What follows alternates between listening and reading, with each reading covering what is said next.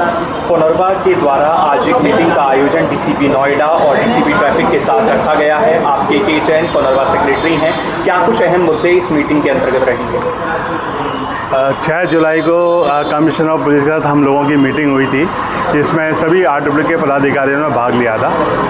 और उसके बाद ये निर्णय लिया गया था कि जो भी आज यहाँ पर मैटर डिस्कस हुआ है, निर्णय लिए गए हैं, उस पर जो है इम्प्लीमेंट किया जाएगा। तो आज की मीटिंग का जो पर्पज़ है कि उस समय जो दो महीने पहले मीटिंग में लिए गए निर्णय थे वो कहाँ तक हो पाए हैं उसकी जानकारी चाहिए। दूसरा बहुत से ऐसे निर्णय थे इसमें यह था कि ए सी पी लेवल के सभी आर डब्ल्यू से मीटिंग करेंगे तो उसमें जहाँ तक हम लोगों के पास सूचना है बहुत अधिक सेक्टरों में मीटिंग नहीं हो पाई है।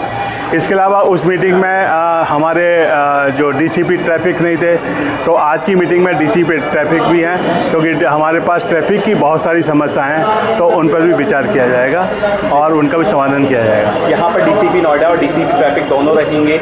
यातायात के मामलों में यदि हम बात करें या फिर नोएडा के अंतर्गत जो क्राइम है उसमें सुरक्षा व्यवस्था में आप कौन से मुख्य मुद्दे आप मानते हैं देखिए डी सी ट्रैफ़िक हिसाब से एक तो ये जितने भी मेट्रो स्टेशन हैं वहाँ पर हमेशा जाम लगा रहता है। और इसके अलावा कुछ ऐसी जगह कट जो है बंद कर दिए गए हैं जहाँ पर ज़रूरत नहीं है। लोगों को काफ़ी परेशानियों का सामना करना पड़ रहा है। तो इस तरह के मुद्दे हैं और हम लोगों ने जो आर डब्ल्यू से जो लोग डे बाई डे फेस करते हैं उन पर भी विचार किया जाएगा। वो भी अपनी बात रखेंगे।